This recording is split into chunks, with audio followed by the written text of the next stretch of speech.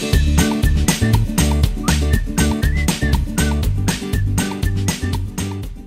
ayan, dito tayo sa part 2. Grabe yung hangin dito, habagat. So ayan po. ah, lugar. sarap ng hangin. Grabe yung naper namin, no? Tumagilid na sa lakas ng hangin. So yan po.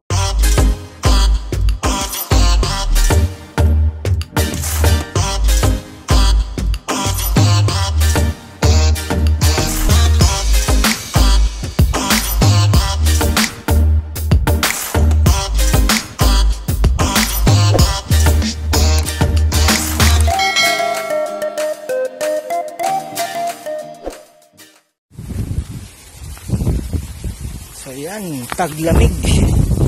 So, cold morning sa lahat. Grabe, puro tumba yung saging namin. Ayan. Ayan. Yung mga bunga nasa ano na, nasa kanal. Grabe yung hangin. So, okay lang. Basta sakto na sa edad yung mga bunga. Pangkain. Ayan, medyo ano to eh, ah, medyo ano na, may laman na. Okay lang yan.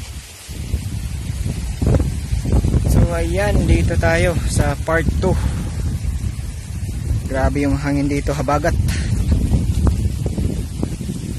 So ayan po,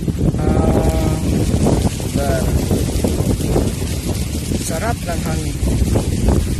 Grabe yung naper namin, no? tumagilid na sa lakas ng hangin. So, yan po.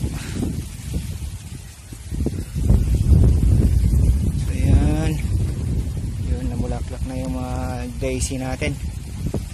May pang-harvest na tayo. So, dito tayo mamaya para sa fertilize. So, ayan po.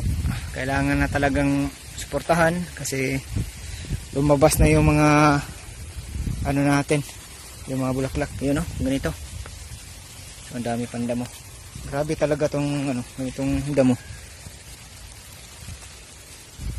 ayan ang ganda ng sigla talaga tingnan oh.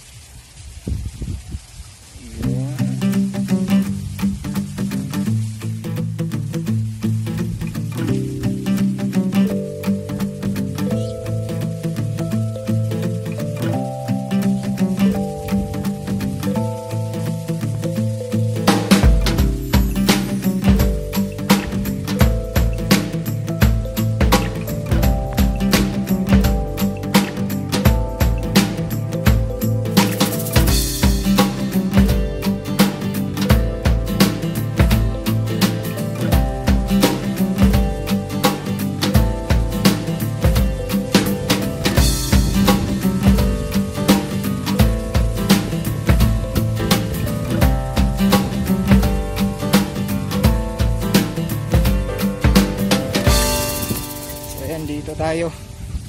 Nasa taas tayo, nasa bundok tayo. Ayan. Grabe ang hangin dito mga ka-farmers.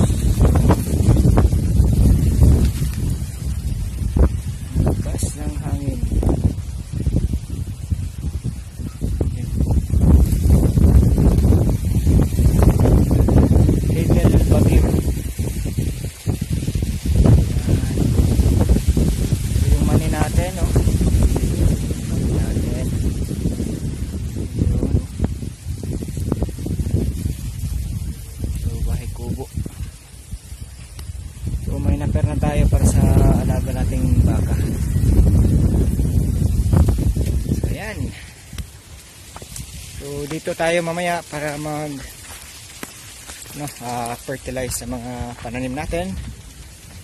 Ah, kailangan na talaga medyo ano na kasi every 15 days kailangan natin mag ano, ah, fertilize kahit hindi pa umabot ng 15 days so kailangan nating ano, ah, mag fertilize so, yun yun po ang mga pananim natin sa bukid.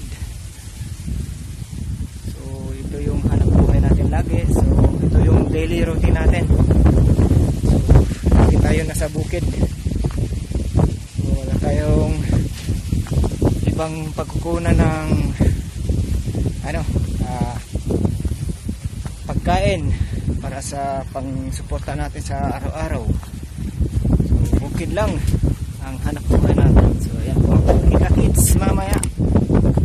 Idle Farm TV.